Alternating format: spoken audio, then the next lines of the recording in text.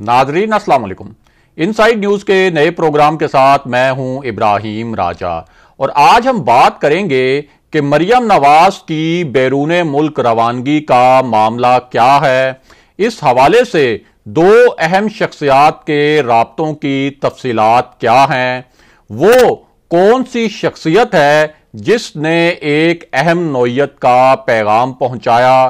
क्या इसके पीछे उसी किस्म की डील है, जिस तरह की डील मियाँ नवाज़ शरीफ के मामले में हुई थी। सत्रह मिनट की एक व्हाट्सएप कॉल का मामला क्या है? इस कॉल में क्या हंगामी मैसेज भेजा गया था? लाहौर में तीन शख्सियात की एक बहुत अहम मुलाकात किससे हुई? ये मुलाकात कहाँ हुई और कितनी देर जारी रही?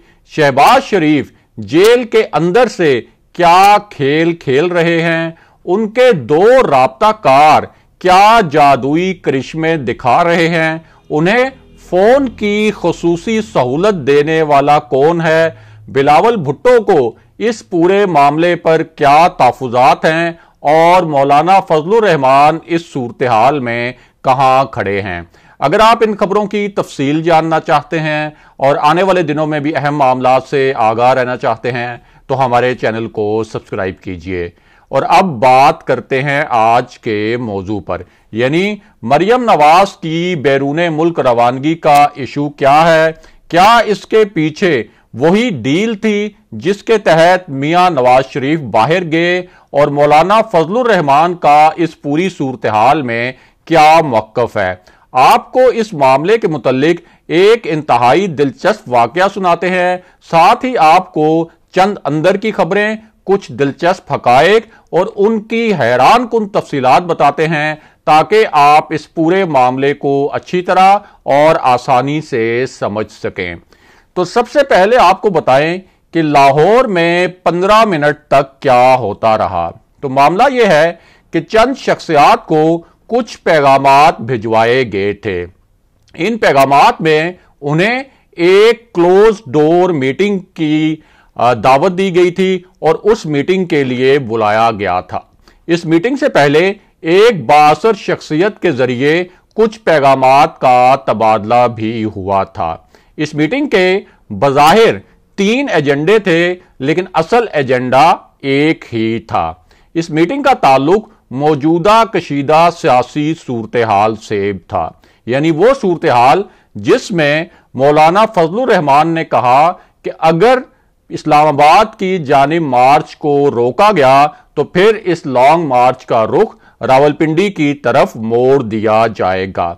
अब इस सूरत हाल में कुछ अहम शख्सियात ने एक क्लोज डोर मीटिंग की। इस मीटिंग के दो नुकात बहुत अहम थे और इन नुकात को मौजूदा सूरत हाल में फैसला कन नुकात भी करार दिया जा रहा था। अब ये पूरी मीटिंग किस नोयत की थी? इस मीटिंग में कौन कौन शरीक था? इस मीटिंग में कौन से दो अहम नुकात पेश किए गए और क्या फैसले हुए? उसकी पूरी तफसील भी आपको बताते हैं और साथ ही आपको इसी इशू से जुड़े चंद नए इंकशाफात और ताज़ा हकायक से बताते हैं ताकि आप इस पूरे मामले का जो कॉन्टेक्स्ट है और जो स्याको सबाक है, उस स्याको सबाक को भी अच्छी तरह जान सकें। तो सबसे पहले आपको बताएँ कि शेख रशीद जो इस्टेब्लिशमेंट के बहुत करीब हैं, उन्होंने क्या मानी खेज नुकात उठाए। जानने वाले जानते हैं कि शेख रशीद रावलपिंडी की सियासत करते हैं और उनकी सियासत का महवर ताकतवर हल्के ही हैं। यही वजह है कि शेख रशीद की जो पेशगोइयाँ हैं, उन्हें बहुत अहमियत दी जाती है। कहने वाले कहते हैं, और शेख रशीद का अपना तासुर भी यही है कि उनके पास इस्टेब्लिशमेंट से खबर लाने वाली कोई चिड़िया या बाज वगैरह मौजूद है। बहरल अब शेख रशीद का कहना है कि मौसम बदल चुका है। उनकी ये बात बहुत मानी खेज थी। उसके बाद उन्होंने कहा कि मैंने मौलाना फजल रहमान को जो ऑफ़र दी थी, अब मैं वो ऑफ़र वापस ले रहा हूँ। शेख रशीद का कहना था कि मैंने मौलाना फजल रहमान को ये पेशकश की थी कि जब वो लॉन्ग मार्च के लिए इस्लामाबाद आएँगे तो उन्हें हलवा पेश किया जाएगा, लेकिन अब मैं ये पेशकश वापस ले रहा हूँ। उसके बाद शेख रशीद का कहना था कि पीडीएम के लॉन्ग मार्च के लिए आँसू गैस तैयार है। जो भी फौज को गाली देगा, उसकी ज़ुबान खींच ली जाएगी और पीडीएम को अब अपनी सोच बदल लेनी चाहिए। अब इस मामले में एक नया मोड़ भी आया। वो मोड़ यह था कि मौलाना फजलुर रहमान ने एक बड़ा ऐलान कर दिया। मौलाना का कहना है कि अगर लॉन्ग मार्च में रुकावट डाली गई तो हम अपने लॉन्ग मार्च का रुख इस्लामाबाद के बजाय रावलपिंडी की जानब कर देंगे। जानने वाले जानते हैं कि इसका मतलब क्या है।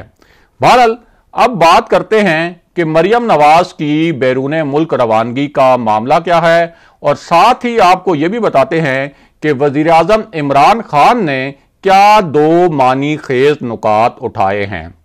ये नुकात इस पस मंजर में उठाए गए जब शहबाज शरीफ ने ताकतवर हलकों से एक डील की थी। ये डील उस वक्त की गई जब मौलाना फजलुर रहमान ने इस्लामाबाद में धरना दिया था। यूँ एक दबाव का माहौल बना शहबाज शरीफ ने इस दबाव के माहौल को बहुत महारत से इस्तेमाल किया और यूँ उन्होंने ताकतवर हलकों से एक मफामती रबता किया। और इस मफामती रबते के बाद मियाँ नवाज़ शरीफ को बैरून मुल्क जाने की इजाज़त मिल गई। अब खुद तहरीक इंसाफ के रहनमा निजी महफिलों में ये इकरार करते हैं कि मियाँ नवाज़ शरीफ को बैरून मुल्क भेजने पर इमरान खान बिल्कुल रजामंद नहीं थे। यहाँ इंतहाई अहम बात यह भी है कि जब मियाँ नवाज़ शरीफ ने अपनी तकरीरों में पहली मरतबा फौजी क्यादत पर इल्ज़ाम लगाए तो फवाद चौधरी ने एक बहुत ही हैरान कन बयान दिया था। वो बयान ये था कि अब मियाँ नवाज़ शरीफ को बाहर भेजने वालों को पता चल गया होगा कि उन्होंने नवाज़ शरीफ को बाहर भिजवा कर कितनी बड़ी गलती की। अब इसी पूरी सूरत हाल में वज़ीर आज़म का यह कहना है कि अगर किसी भी तरह, यानी मेरी तरफ़ से या किसी भी ज़रिए से अपोजिशन को कोई रिलीफ मिल जाए तो पीडीएम की तहरीक एकदम खत्म हो जाएगी। लेकिन इस मामले में एक नया मोड़ भी आया है। और यह मोड़ शहबाज शरीफ के रबताकारों के मुतलिक है। इन रबताकारों ने क्या किया? उसके बारे में भी आपको मुख्तसरन बता देते हैं। तो मामला यह है कि एक ऐसे वक्त में जब पीपल्स पार्टी के धोखे की वजह से पीडीएम की तहरीक का ज़ोर कम हो गया है, अब शहबाज शरीफ मामला को अपने हाथ में लेने की कोशिश कर रहे हैं। उन्होंने इस हवाले से मियाँ नवाज़ शरीफ को भी एक पैगाम भेजा है। और वो पैगाम यह है कि अब इस बाकी मानदा दबाव के माहौल को इस्तेमाल करके मफामत की चाल चली जाए। और जानने वाले जानते हैं कि शहबाज शरीफ जेल में बैठकर भी अहम रबते करने की पोजीशन में हैं। और उन्हें तो फ़ोन की खसूसी सहूलत भी मैसर आ जाती है। अब इस पूरे पस मंज़र को जहन में रखिए और इस पस मंज़र में आपको बताते हैं कि मरियम नवाज़ की बैरून मुल्क रवानगी का मामला क्या है।